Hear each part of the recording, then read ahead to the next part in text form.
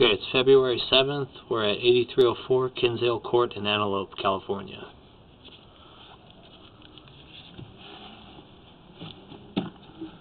Cabling the main line to the clean out outside.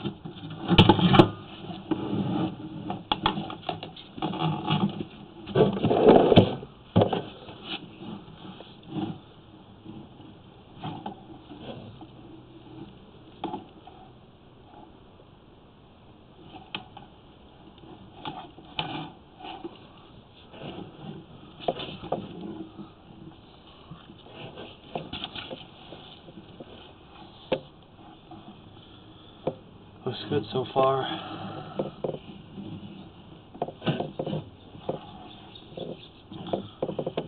See what we got down the line.